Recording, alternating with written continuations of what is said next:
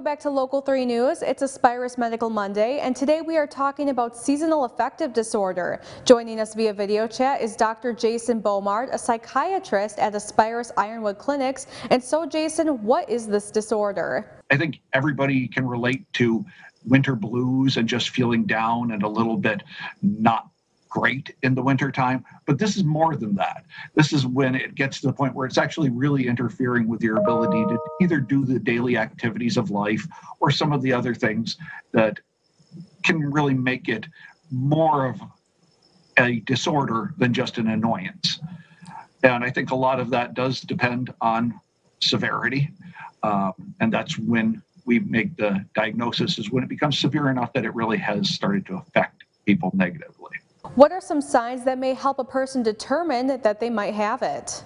It's when you can't get out of bed to go to work or when you're feeling so down that things just don't seem worth doing anymore.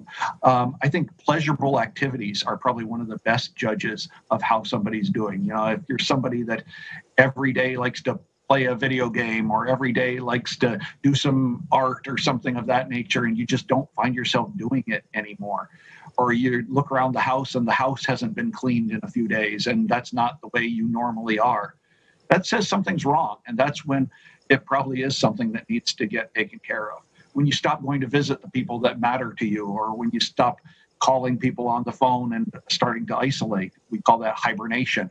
Um, that's a very common thing that's associated with seasonal affective disorder is this desire to sort of just crawl into your cave and wait out the winter. What should people do if they believe they are suffering from this? I think speaking with your physician is probably a good idea, especially if you think that it's gotten to the point where it's out of the ordinary. Yeah, if it's something where, all right, I just feel a little bit down, then doing minor changes like getting out a little bit more. Um, we talk a lot about sun lamps as a possible treatment for this too. And um, they're also called full spectrum lamps or therapy lamps. And you can buy them pretty much anywhere. Um, you just have to make sure that they have pretty low ultraviolet light, but high lux is what it's called. Lux is a measurement of light power. And they say about 10,000 lux lights. You can have one of those in your house. You don't have to stare into it. In fact, they recommend you don't.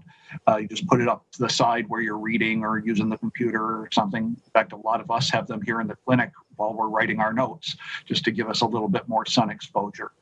Um, yeah, but if it gets to the point where those kind of things aren't helping, then I think speaking to your doctor is a very good idea because there are some other things that we can do that are a little bit more treatment types, um, such as medication. Um, and the other issue that I think is really associated with seasonal affective disorder, too, that I think a lot of people don't think about is vitamin D. Thank you, Jason.